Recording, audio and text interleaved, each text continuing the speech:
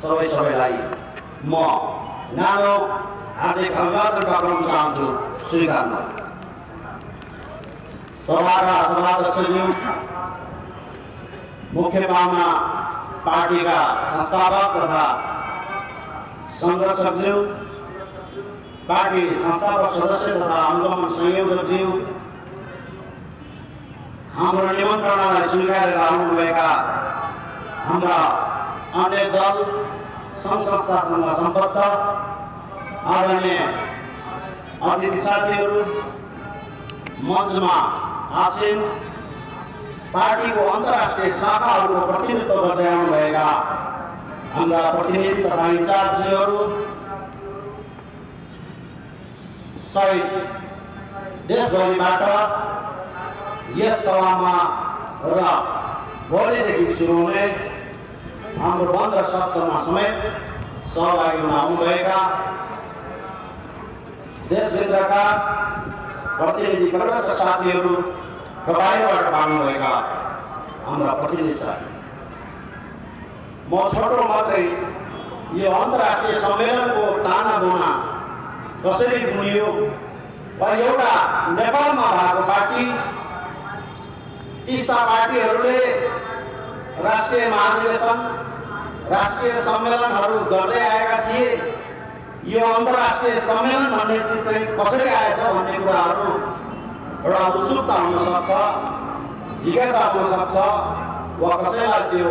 अन्योन्यता पनि हुनसक्छ म पार्टीको तर्फबाट त्यही कुरा प्रश्न पार्दै र यो हाम्रो अन्तर्राष्ट्रिय सम्मेलनले हामीलाई के दिएर समापन गरिनेछ भन्ने कुरा थोरै इङ्गित गर्नलाई मात्रै यहाँहरूको समय लिएको छु आदरणीय महानुभाव नेपालमा राष्ट्रिय जनमुक्ति पार्टी जन्मदा आफैमा यहाँका सबै जातिहरूलाई समानुपातिक प्रतिनिधित्वको राजनैतिक मोडेलबाट सत्ताको मालिक बनाउनु पर्छ भन्ने मान्यता त्यो बेलामा छ्यालिस पछाडिको त्यो समयमा अत्यन्त चुनौतीपूर्ण धेरै अप्ठ्यारो लाग्ने नमिठो लाग्ने त्यस्तो परिस्थितिको बेलामा सँगसँगै अढाई सय वर्षदेखि केन्द्रीकृत काठमाडौँ केन्द्रित एकात्मक र एकल चरित्र र विशेषताले गाँचेर सञ्चालन भएको एकात्मक राज्य व्यवस्थामा त्यसको विस्थापन गर्दै सङ्घीय व्यवस्थाको परिकल्पनाको उद्घोष गर्दा त्यो पनि धेरै अनौठो र अपत्यारिलो कुरा तर विचार भन्ने कुरा त्यसमा सत्यता छ भने त्यो कति शक्तिशाली हुन्छ भन्ने कुरा हिजोको दिनबाट आज आइपुग्दा यो पार्टीले अस्ति मार्च छ गते विधिवत पच्चिसौँ स्थापना दिवस पुरा गरेर छब्बिस वर्ष प्रवेश गर्दै गर्दा आज लगभग लगभग सबै पार्टीहरू मन पराएर होस् वा नपराएर सङ्घीयता सङ्घीयता भनेर गीत गाउँदै हिँड्नुपर्ने परिस्थिति छ मनले सङ्घीयता लागू गर्न चाहौँ नचाहौँ तर हामी सङ्घीयता पक्षधर वा सङ्घीयतावादी हौँ भन्न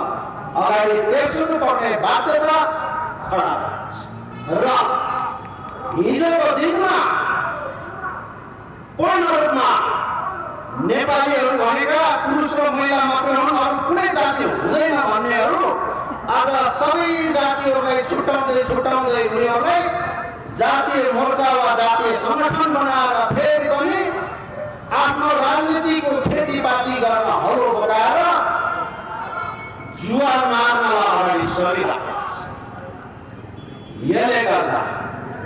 यही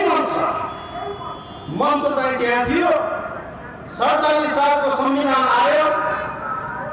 कार्तिक तेइस गते संविधान आइसकेपछि पहिलो पटक